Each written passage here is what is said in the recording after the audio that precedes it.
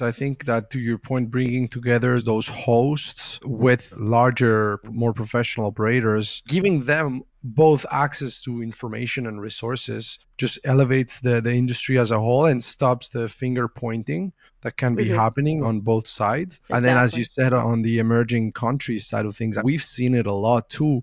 We do a lot of business internationally, and it's very interesting to see how behind some of these countries are in terms of technology adoption. And you wonder why. And, and I think yeah. uh, the cost side of it is certainly something even on the currency side some of these yeah. countries they they get money in their local currency and the exchange rates when now you're looking at paying the most sophisticated pms from the US, it, it's it's completely it cannot yeah. be done, right? It just doesn't yeah. work. So I love that you're building that aspect, and I think there's a lot of opportunities there. Now, what if we go back to sort of your experience in in all angles of this industry as well as talking with so many property managers so many operators professionals in this space what would you say is a common mistake that you see let's talk about property managers property management companies what's a common mistake that if you could prevent someone from making it earlier on you would say hey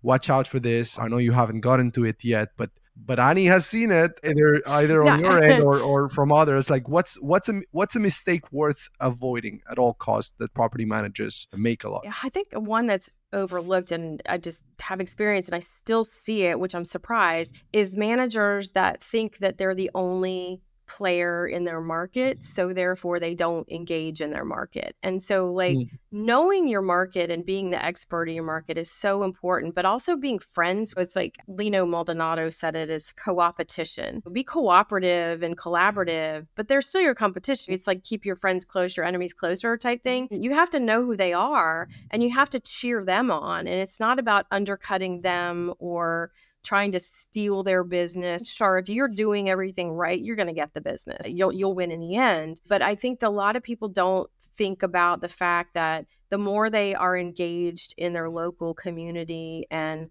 engage with their competitors, the better off they're going to be. Because again, there's going to be a situation where Joe's rentals down the road gets an owner and it's not the right fit for their company. So they're going to want to refer it out to somebody else and they're going to want to mm. know if they refer it out to somebody else is it going to come back to bite them or is it going to be something that's going to be good so the more you talk with your cohort and your market the better off you're going to be so I, I think that that's just one thing outside of like just business operations and technology that that, that there are still people that overlook the importance of being friends with your being frenemies. Interesting. Interesting. Yeah, no, there's a lot of synergies that can be built, collaboration, opportunities that can come up, and learning at the very least. So I think that makes a lot of sense. What about a mistake that people are still making? What about something that you do or you have seen property managers do successfully, but that just not a lot of people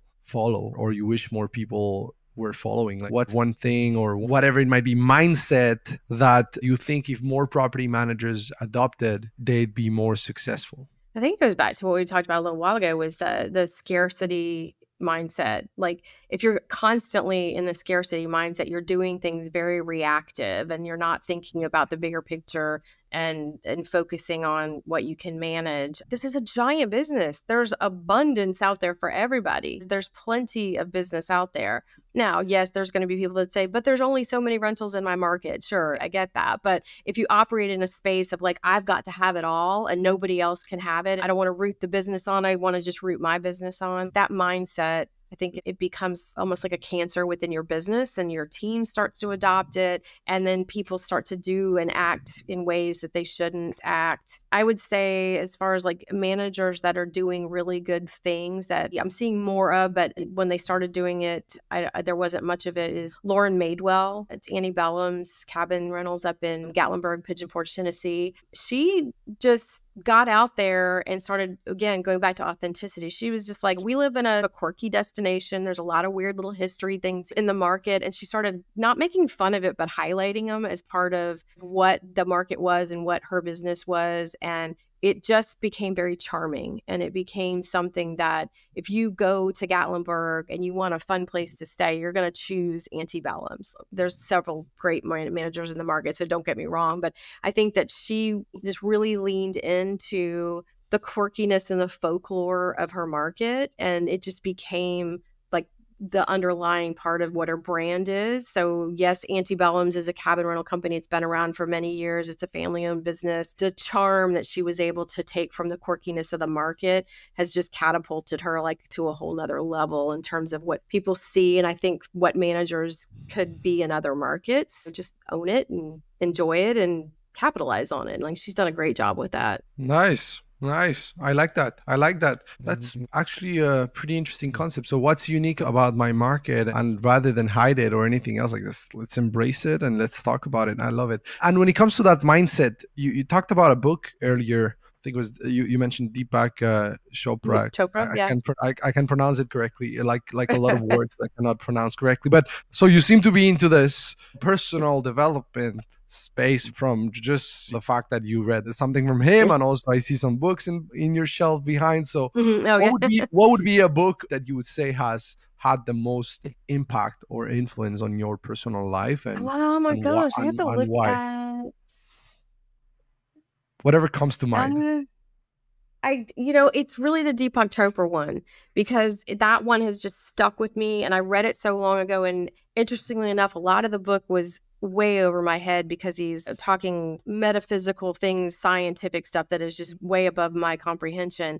But he broke down just like what we are as humans and our purpose, that we're part of this larger universe and how we interact with it and how what you give is what you get. And it took me a while to really truly understand that. If you're going to continue to give out negativity and you're going to be always coming from a place, again, that scarcity mindset, but coming from a place of defense, then you're always going to mm-hmm. have to be on defense. And it helped me get through some challenging times in my own personal life because I had to think step back and say, do I want to be in this place of negativity or do I want to try to find the sunny side of it? Yes, there's days when you can't find the sunny side for sure. But if you have mm. more days that are sunny than not, then the the universe rewards you in kind. And how have you uh, gone about trying to find the sun when it's just cloudy and messy and there's just problems left and right and all you can see is problems? Like how have you managed to stick your head above and see things from another perspective? Like what has worked for you in terms of changing your mindset in those moments?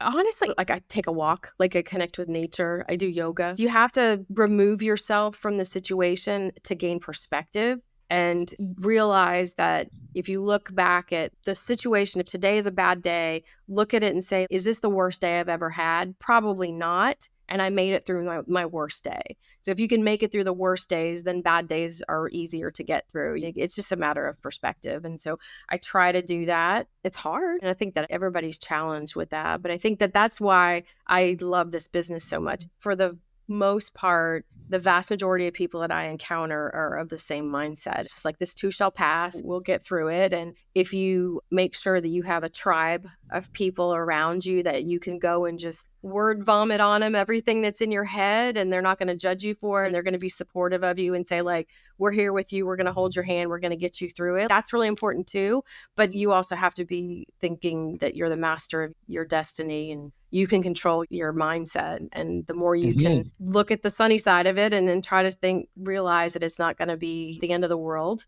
and what we do mm-hmm. in this business is not saving the world it's not curing cancer it's not life changing but it's important and we do good things and tomorrow will be better than today if it's a bad day. Mm, this too shall pass. I really like that. Exactly. Uh, I, yeah. I that they talk a lot about it in, in Stoicism, and so mm-hmm. I, I, would, I would just add to that the concept of externals, like really differentiating what are things you can control and what are things yep. that you cannot, and understanding that there's nothing that can be done on on the externals on things that you cannot control. And so focusing on the things that you can control i think yeah. it comes from that stoic wisdom. Awesome yeah. annie. Well this has been super fun. Thank you for your time. Thank you so much for sharing all, all those insights and sharing your story with us today. Any final thoughts of uh, insight that you'd like to share with operators, with property managers, uh, or if not, where can people stay in touch with you? Um, I don't have any thoughts of wisdom. It just goes back to your mindset and how you handle things. And